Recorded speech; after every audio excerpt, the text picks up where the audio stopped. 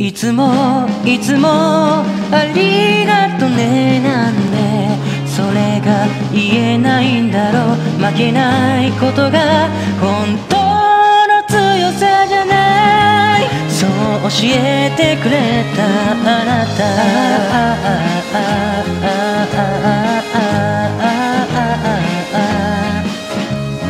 沈丁毛の花種をま僕が何かわからなくなってしまった10月。弁当箱の愛を食べきれず残して。暗い顔なんて見せまいと。笑い方を忘れた12月。本でごめんよ母さん。ただいまおかえりあとあのさ